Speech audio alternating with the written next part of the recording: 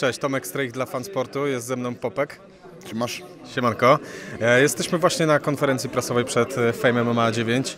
E, Powiedz, jak twoje samopoczucie w ogóle? Jak się czujesz w tej organizacji? Kolejny dzień w biurze, tak bym, tak bym powiedział. Czuję się jak ryba w wodzie. E, No, to jest Federacja się pode mnie, więc jakim miałbym się czuć? Jesteś na robocie w każdym sam jestem dziadkiem, więc cóż mógłbym wam dać, jakie pyszne Werders Originals. Ten smak każdy kojarzy, nie? No właśnie, bo a propos, no może nie dziadka, no ale mimo wszystko jesteś najbardziej doświadczoną osobą w tym momencie we- w Fame MMA. A nawet powiem Ci lepiej, podejrzałem rankingi. Jesteś na przykład e, w, w setce, zamykasz setkę e, fighterów aktywnych we wschodniej Europie. Bodajże gdzieś tam chyba 50 e, polskim zawodnikiem w, wadze ciężkiej. No więc e, można powiedzieć, że powinieneś tutaj dzielić i rządzić, nie? Kiedyś będą uczyć o tym w szkołach. E, Na dzień dzisiejszy Fame MMA 9. Na tym się skupiasz, tak? No ale co, planujesz tutaj zagościć na długo? Tak, ja tu nie ukrywam, że zaczynam patrzeć na pas wagi ciężkiej coraz z większym apetytem i do tego moje przygotowania idą tak jak idą. Wziąłem to na poważnie, e, naprawdę na poważnie. Najszczęśliwszą federację na świecie wziąłem jak najbardziej poważnie. E, nie chciałbym popełniać błędów, które popełniałem wcześniej e, z braku przygotowań, gdzieś tam oszukiwania siebie. Dzisiaj będzie całkiem inaczej. Ja jestem spokojny, naprawdę spokojny, bo nic nie zrobiłem złego, przepraszam. Co złego to nie ty. A y, co będzie eliminatorem w ogóle do tego pasa? W tym momencie jest, y, stoisz przed pojedynkiem e, z Kizo. Kto następny? Z kim, z kim byś siebie widział w ogóle w takiej walce się, o pas? Widziałbym się w walce o pas na przykład z Bestią. E, To by była walka taka, wie, że te jednak sondaże byłyby w miarę wyr- wyrównane. I, I tak, ja bym taką walkę, ja bym chciał zawalczyć z Bestią, jeżeli wygram z Kizą. No właśnie, jeżeli, jeżeli wygrasz, bo jesteś przed, przed tym zbliżającym się pojedynkiem, powiedz, jak w ogóle e, oceniasz swojego rywala? M, Jakie stanowi dla Ciebie wyzwanie? Jakie są jego mocne strony?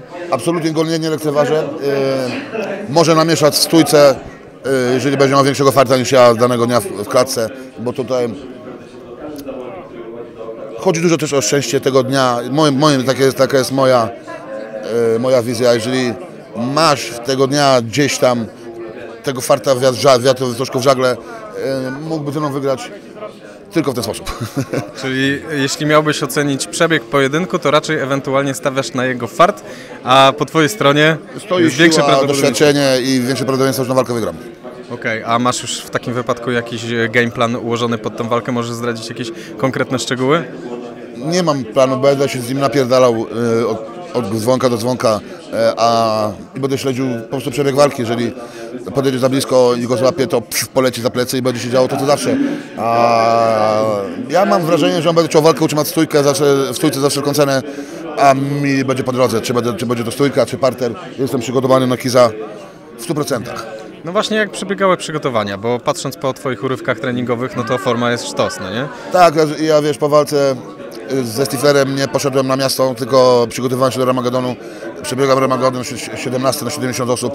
To naprawdę ja przy wadze 115 kg, tam, tam same takie kurczaczki jak ty i wiesz, tylko ich psz. Także tam nabrałem wielkiego, takiego, wielkiej pewności siebie e, co do mojej wydolności i pociągnąłem to dalej do dnia, do dnia dzisiejszego. Okej, a właśnie odnośnie, odnośnie wydolności, jak, jak oceniasz pod kątem kondycyjnym generalnie tą walkę? Jesteś gotowy na trzy rundy? Tak, tak. Na pewno będzie jeszcze lepiej niż na ostatniej walce i na czy tamtej. U mnie wszystko idzie progresowo do przodu. Ja naprawdę się do siebie wziąłem. No, a jeśli mowa generalnie o zmianie trybu życia, reżimie treningowym, kiedy ostatnio To- piłeś alkohol na już przykład? To się stało. Yy, alkohol kiedy piłem ostatnio? O kurwa, nie pamiętam. Z jakiegoś tam półtora miesiąca temu gdzieś mi się byłem na jakiejś imprezie, walnąłem czy podwójne Jack Daniels z whisky i wziąłem tabletkę na scenę, poszedłem spać. Także ta impreza nie trwała długo. to były jakieś urodziny kogoś, mojego znajomego. Ale tak to ja się w imprezkę z alkoholem nie, nie wbijam, po prostu nie mogę na dzień dzisiejszy. Po walce, na wakacjach z rodziną, w jakimś hotelu pięciogwiazdkowym sobie walnę. Yy, wszystko z barku, ale nie teraz. A powiedz, jesteśmy w tym momencie przy Fame MMA, a e, jak widzisz swoją przyszłość na przykład związaną z e, KSW? Czy w jakiś sposób planujesz jeszcze na przykład powroty do tej organizacji? Nie, dlatego przyszedłem do fejmu, bo moja kariera w KSW się za, yy, kontrakt się zakończył i ta federacja mi pasuje lepiej, po prostu, zwyczajnie. Ostatnia walka akurat była tam stoczona No i niestety przegrana ze Święcimskim. Powiedz, jak, jakie są Twoje w ogóle wrażenia odnośnie tej walki? Czy w jakiś sposób ta rysa Cię jeszcze, e, czy to jest jakaś tam rysa na Twoim życiorysie? Czy ta porażka boli? Chciałbyś wrócić do, do jakiegoś tam rewanżu, może ze Święcimskim? Boli mnie tylko dlatego, że przegrałem sam ze sobą, a nie, a nie z Oświęcimskim. Tylko wyłącznie dlatego. I od tamtego problemu zaczęły, skończyły się moje problemy z takim trybem życia i te- tego to się więcej nie powtórzy. A z innymi zawodnikami? Powiedziałeś o Bestii, a czy na przykład e, widziałbyś jakiś pojedynek z na przykład Zakupem Szostakiem albo z DJ-em Dexem?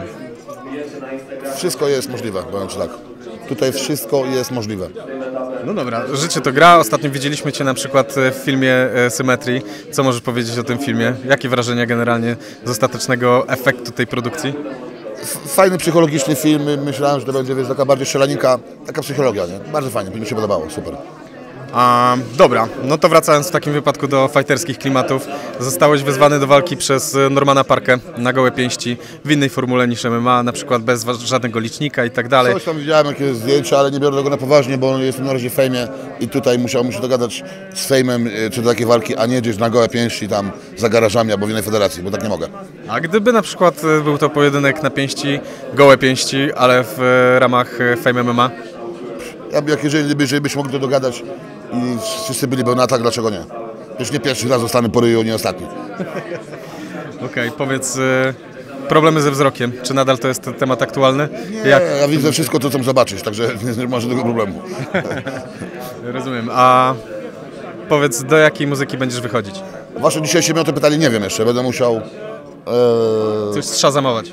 tak, tak, bo teraz robię nowe rzeczy i może coś nowych rzeczy wrzucę. Zupełnie w jakimś innym klimacie? Tak, zupełnie, ale nie mogę jej zdradzić jeszcze. Okej, no dobra, chciałem Ci pociągnąć trochę za język, no bo były już klimaty gitarowe, bardziej śpiewane, No bo dobra, popowe. to 90, ale nie mogę zdradzić z kim, co, jak i kiedy. Okej, no dobra. Chciałbym Cię pociągnąć za język, bo to interesujący temat. No ale dobra, życzę Ci w takim wypadku powodzenia w następnej walce. Dzięki wielkie za Dziękuję, gorąco jak skurwysyn teraz. Dzięki, cześć.